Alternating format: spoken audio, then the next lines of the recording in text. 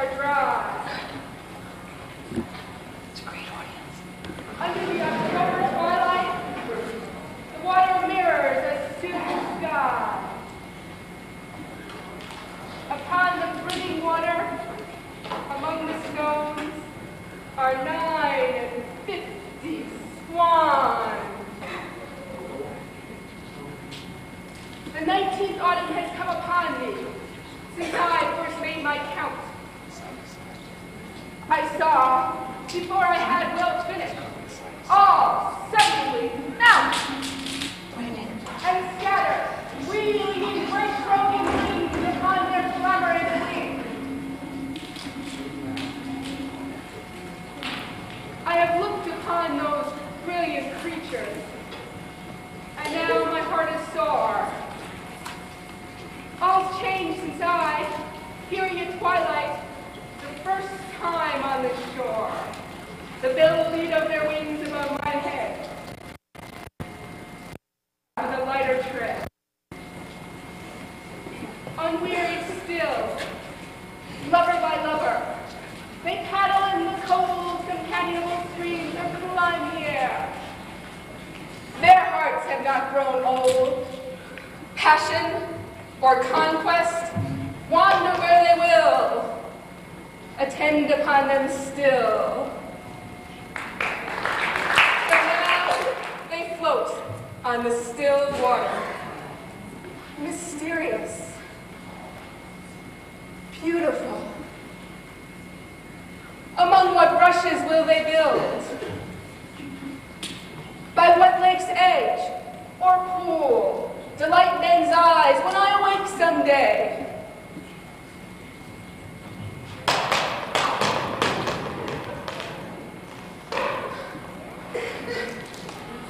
To find they have flown away.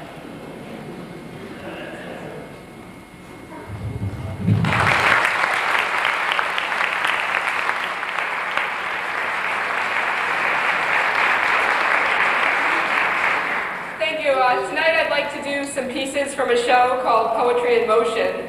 The first one I'd like to do is a poem by William Blake. It's an old Philadelphia favorite, but I need your help in this one. It's called The Tiger, and whenever I get to the bit about the tiger, I want all of you in the audience to go like this. Grrr. All right, we're gonna have a little practice because it comes up unexpectedly. All right, let's just try it once. Tiger! You'll be fine.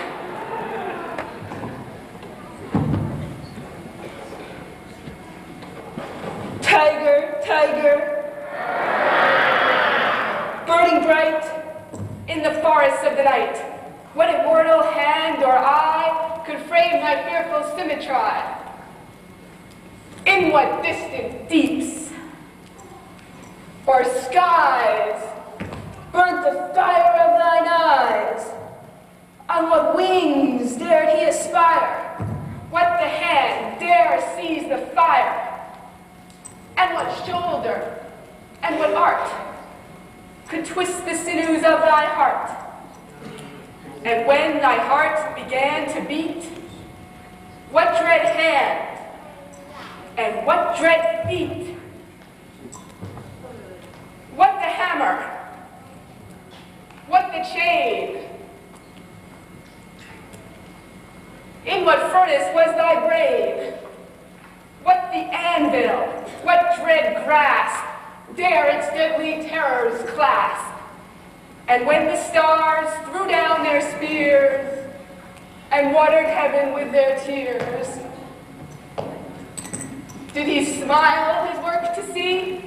Did he who made the lamb make thee? Tiger, tiger,